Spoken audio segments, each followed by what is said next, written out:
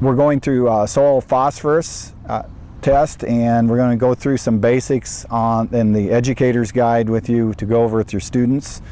Uh, the first, very first section covers soil phosphorus and next to nitrogen. It's the most limiting crop for, uh, for uh, forage and, and crop production.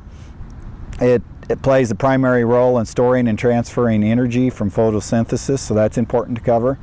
And in there we have a very, as simple as possible, phosphorus cycle, figure one from Pierzynski.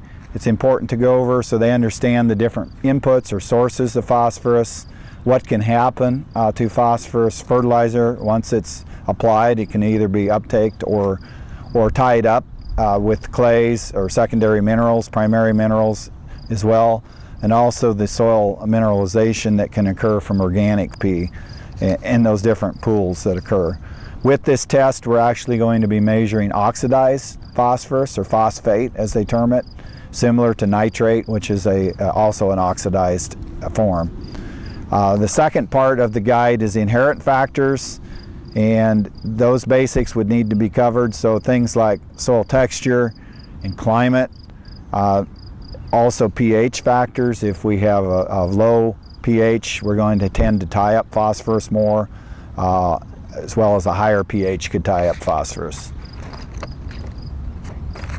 Phosphorus does not leach, and similar to nitrogen well leach, it's more soluble, where phosphorus, our losses are more associated with runoff and erosion sources associated with sediment loss from a field.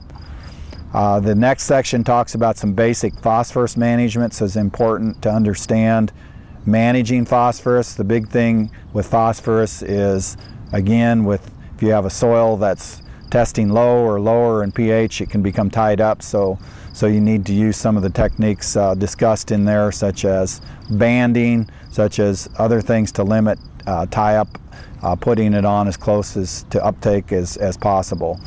Also, we have a figure in there that shows the classic deficient corn plant that shows the purple color on lower leaves, so they understand that. Uh, so the, the other last thing on management that would be important for, the, for you to go through with them uh, clearly would be the four primary phosphorus management strategies, which is managing our pH through liming, uh, applying small amounts of fertilizer frequently rather than a large amount at one time, reducing the tie-up by banding uh, and pl uh, placement uh, such as injecting. Also placing phosphorus fertilizers near the crop row or in furrow where roots are most active.